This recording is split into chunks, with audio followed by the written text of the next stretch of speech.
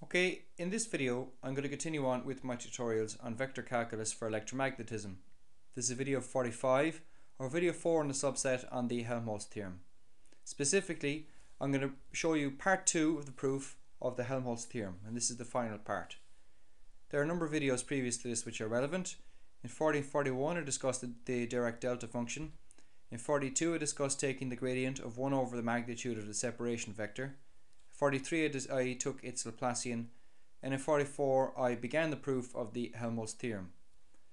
Now in this particular video we'll be using a lot of the results from, from video 44 and the, the technique so I'll just, I'll, just, I'll just use them straight out in this particular video. Now the proof of the Helmholtz theorem is quite involved because it, it requires a lot of the results from our study of vector calculus and have written most of the important results on the bottom left of your screen. We use this particular product rule in video 44 and we'll be using this one in video 45. So what happened was as follows in video 44. We had an arbitrary function, let's say f a function of r. And we could always write this function as follows. Using the Dirac delta function. I'm sure you can understand that. Thereafter we invoked the Laplacian of 1 over the magnitude of separation vector, which is here. And after that then what we did was we applied a product rule and so on and we broke up the function into two separate parts. We had a part 1 and a part 2, two integrals. So I kept the second integral until today, which is here in video number 45, but I worked on the equation 1 and we broke that down into two components and one was a surface a closed surface integral and one is a volume integral. Now in this video we're going to get something similar. We're going to get a closed surface integral and a volume integral. And we'll be able to get rid of uh, we'll be able to get rid of the surface integrals which for reasons I'll explain in a moment.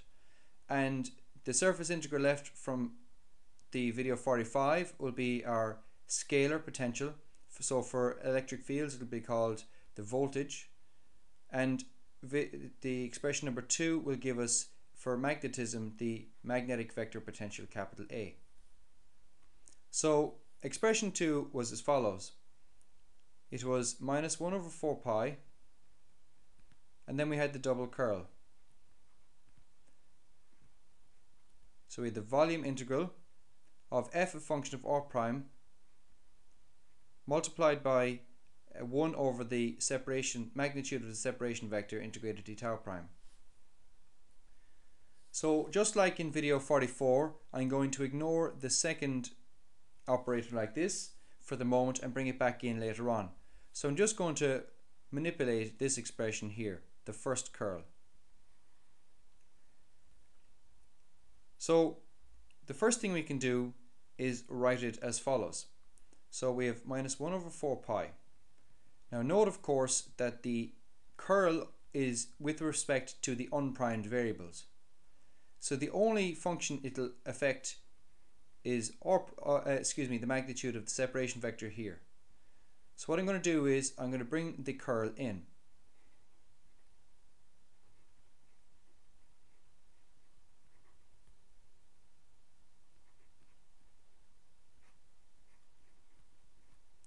Like that.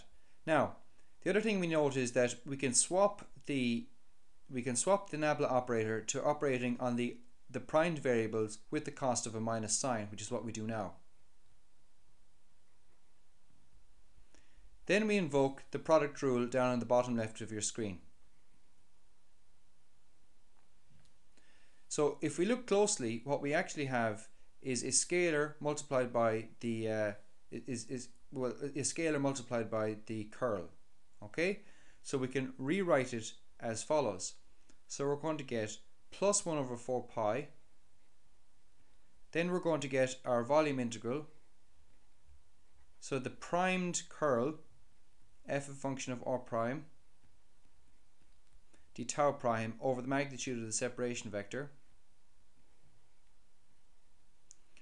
We need to take away from that 1 over 4 pi the volume integral again and the primed curl of f a function of r prime divided by the magnitude of the separation vector.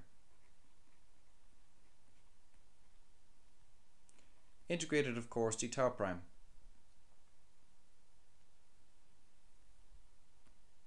And finally, to complete equation 2, we rewrite it as follows. 1 over 4 pi, the integral over the volume. So integral over volume, the primed curl.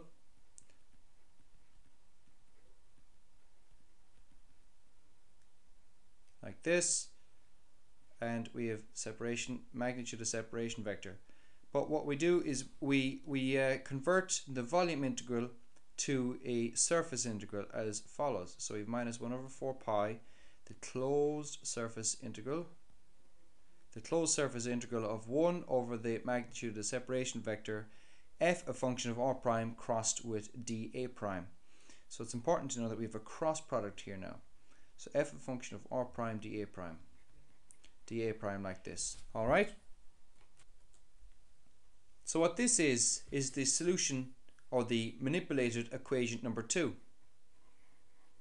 That means we're almost there now. So I'm going to note that we have equation two and I'm going to rewrite down equation number one. So equation number one had minus 1 over 4 pi, the closed surface integral, f a function of r prime over the magnitude of the separation vector dotted with dA prime and that was to add to or we had to add that to or we to add to that excuse me 1 over 4 pi the volume integral 1 over the magnitude of the separation vector the primed divergence of f function of r prime d tau prime of course, we have to add the two of these together.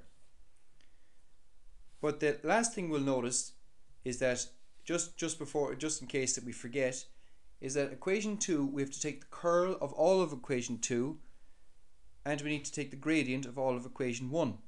But we still won't do that yet. So just keep that at the, ba the back of your head. We take the, the, uh, the curl of equation 2 and we take the gradient of all of equation 1. So now what we need to do is simplify this. And it takes a small bit of, actually takes quite a good bit of logic, I would say, to do this. Basically what we say is, if we can if we can reduce the surface, or if the surface, excuse me, if it recedes to infinity, and the function f of r is regular at infinity, then what we can do is we can get rid of the surface integrals. But how do we get rid of the surface integrals?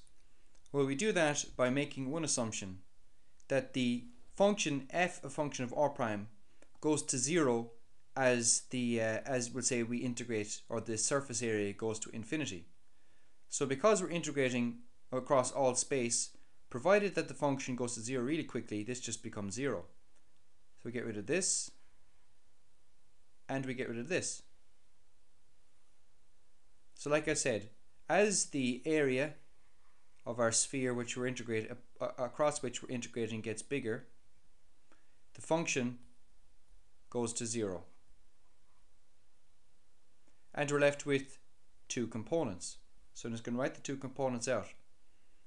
We're left with minus, bringing back in the gradient function, we're minus the gradient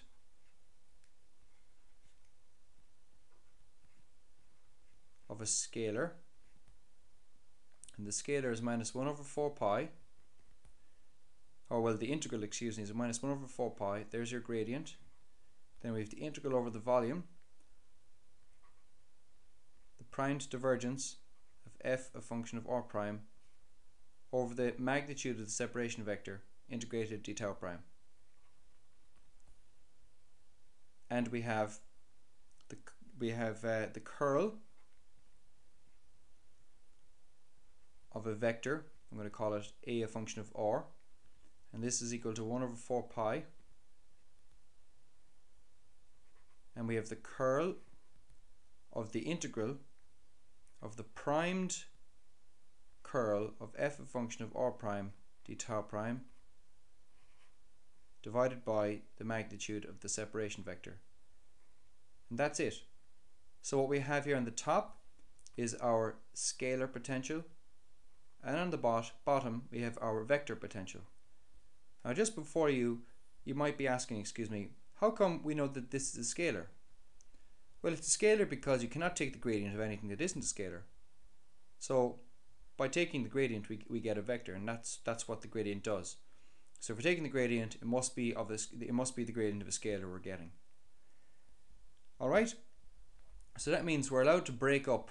Uh, we're allowed to break up our functions in terms of scalar potentials and vector potentials. And the way we use it in electromagnetism is we find that the curl of our function is zero. So let's say, just, just looking at electrostatics very quickly, let's say our function, instead of f a function of r prime, we're talking of the electric field a function of r prime. And if I told you that in electrostatics, the curl of the electric field was zero, like this, that would mean that instead of our function, instead of our function e uh, being e a function of r being we'll say the scalar plus the vector potentials, the vector potential will go to zero and you're left with just the scalar potential and which we call of course the voltage. And then for magnetism what happens is the divergence of our magnetic field is zero which kills our scalar potential and this time we're left with the magnetic potential. Okay, so that's all I've got to say about that. Thanks for watching. Please pass it on to your friends, subscribe to my channel, and you might also give me a comment in the box below.